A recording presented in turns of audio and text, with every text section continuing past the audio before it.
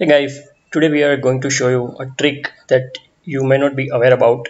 So in redmi mobile there are three buttons in your mobile. The first one the first touch button is a menu button then a home button and a back button.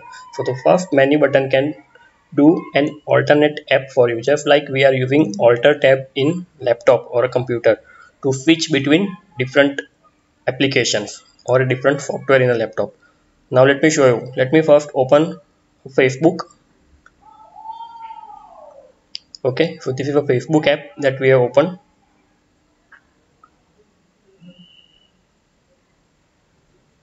Abhi, now if you want to go to another app what will you do?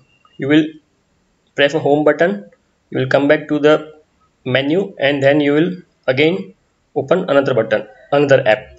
So we are opening a browser app. Now you want to again open facebook app. What will you do? You will again go back and open.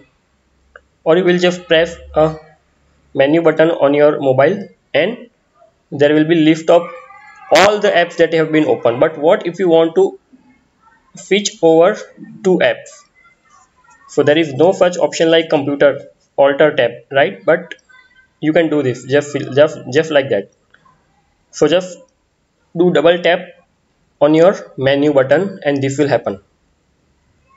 Now we are not going to any other app folder or anywhere but we can easily switch between facebook and browser. Just like this you can switch between any other app by pressing the menu button twice. So i hope you like the video. Please subscribe